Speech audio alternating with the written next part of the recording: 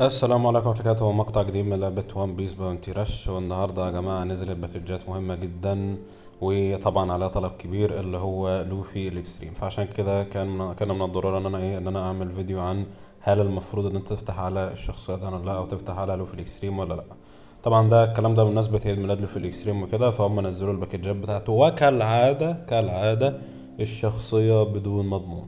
وطبعا كون إن الشخصيه بدون مضمون فإحنا عارفين كويس قوي إيه سبب إن هي بدون مضمون. دايما لازم ينزلوا لوفي ال extreme بحيث إن هو إيه إن هو يفلس الناس من الجواهر وبعد كده يقوموا إيه يقوموا خابطين واحد extreme. عملوا الكلام ده مع مين؟ عملوا الكلام ده مع اللي هو زورو لما إحنا كنا في الاحتفالية الرابعة. السنة اللي فاتت عملوا الكلام ده مع زورو لما إحنا كنا في الاحتفاليه الرابعه قبل ما زورو ينزل نزل لوفي ال extreme شفاط الجواهر برضه. وبعد كده قام خبطك زورو إيه ب 3200 تمام؟ بعدها عمل نفس الكلام مع سبحان الله عمل نفس الكلام مع ياماتو legend ياماتو legend كانت نازلة يوم 17 5 فهو إيه فإحنا عارفين عيد ميلاد لوفي طبعا في أول خمسة. فنزلوا اللي هو إيه اللي هو الباكجات بتاعت لوفي.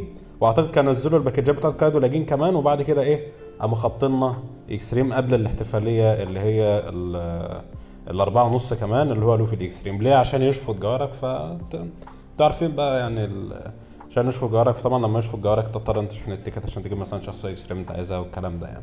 فلوفي يا جماعة ما هو إلا شفاط الجواهر الشخصية OP OP جدا القوه الهجومية بتاعتها. أنا ما شفتش شخصية في اللعبة بالقوه الهجومية بتاعت لوفي ال extreme بصراحة يعني. يعني ساعات بيوصل لأن هو بال normal بيقوم شايلك بثلاث ضربات normal عادي. تمام؟ فهو الشخصية OP. طبعا إحنا عارفين نقطة ضعف لوفي في الإيه؟ في. ما عندوش اللي هي الخصائص الدفاعيه اللي تحميه قوي يعني. فيعتبر بيموت بسرعة نسبيا تمام؟ ف دي ده من الناحية الدفاعية. إنما من الناحية الهجومية بجد ما فيش زيه يعني. وأنا. أكتر شخصية يعني أكتر شخصية شفتها في اللعبة يعني قوية من الإيه؟ من الناحية الهجومية. وممكن بعدها يكون إيه؟ يكون ايس وياماتو يعني الشخصيتين دول بالذات ال- القوه الهجوميه بتاعتهم جبارة فاهمني؟ فهي ده الفكرة بتاعت الموضوع. فعلى إذا كان إن هو يستاهل هو آه يستاهل بس هو نازل لغرض إن هو يشفط جواهرك هو نازل من غير مضمون. يعني تعمل إيه يعني؟ يعني أنت أنت يا عم أنت عايز لوفي أنت أنت عايز دلوقتي إن أنت إيه؟ إن أنت تفتح على لوفي. ولوفي طبعا يعني ليه فانزات كتير وأنا بأيدهم أنا واحد منهم والله. يعني حتى أنا عندي كل النسخ بتاعت لوفي في ال account بتاعي معناه إن أنا دايما بفتح عليه. تمام؟ والشخصية حتى قوية جدا في اللعبة حتى لغاية اللحظة الحالية تمام؟ آه، فالشخصية تستاهل بس هو نازل من غير مضمون فهنعمل إيه؟ أنا مثلا لما جيت أفتح عليه ما فتحتش عليه إلا بعد لما جبت زورو. كنت بحوش من الاحتفالية اللي هي التلاتة ونص بتاعت شانكس بريد تمام؟ وما فتحتش عليه إلا لما جبت زورو. يعني أنا فتحت على زورو استنيت زورو فتحت على زورو الأول وبعد كده قمت فاتح على لوفي ال extreme يلا بقى أنا مع شوية معاه شوية جواهر فاضلين. افتح لوفي ال extreme. بعد لما جبت extreme الاحتفاليه اللي هو زورو اللي هو أهم حاجة فاهمني؟ جبت كنت جبت زورو ب 1500 تمام؟ فبعدها بقى قمت فاتح إيه؟ قمت فاتح على لوفي وجبت لوفي. إنما فيما دون ذلك ما رحتش مثلا إيه؟ فتحت على لوفي الأول حتى قبل ما زورو ينزل وبعد كده قمت فاتح على زورو لا أنا كنت مستني الشخصية اللي هتنزل في الاحتفالية. يعني الشخصية اللي تنزل في الاحتفالية أنا أنا كنت مستني. نزل زورو طبعا زورو مفيش كلام يعني شخصيه أسطورية في الأنمي وكده فطبعا يعني يا ريت. ففتحت عليه وجبته ما كنتش يعني إيه؟ كنت زعلان انه إن أنا جبته وكده. بس برضه كنت متعشم في إن ياماتو لاجين تنزل. يعني أنا كنت عايز ياماتو لاجين تنزل. فاهمني؟ فبس. ف فيما دون ذلك لا بجد هو شفاط الجواهر. وأنا ما ما استبعدش خالص إن إحنا بعد شوية نلاقي في بس. تمام؟ وشخصية extreme تنزل.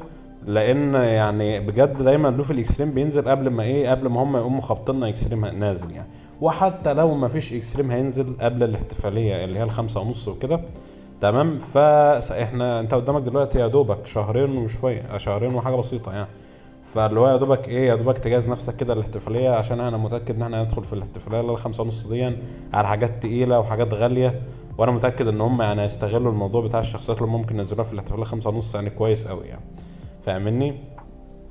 فبس فما تروحش تستنزف جوارك على لوفي إلا لو في حالة واحدة اللي هو أنت مش همك أي حاجة وكل همك إن أنت تجيب لوفي عشان لوفي شخصيتك المفضلة في الأنمي وأنت كنت مستني اللحظة دي بفارغ الصبر فتروح تفتح عليه. آه أنا إيدك في الفترة دي في, في النقطة دي.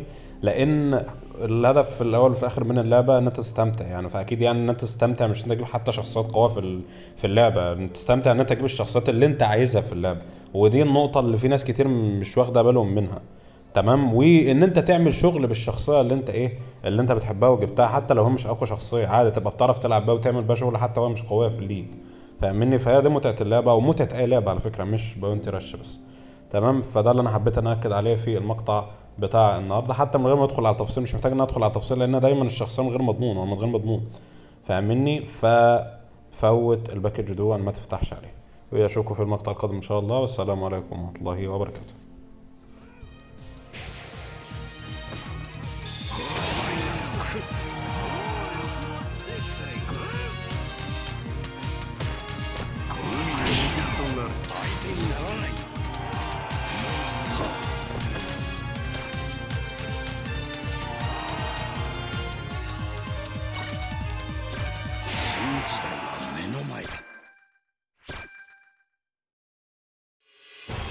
実ともに俺たちは世界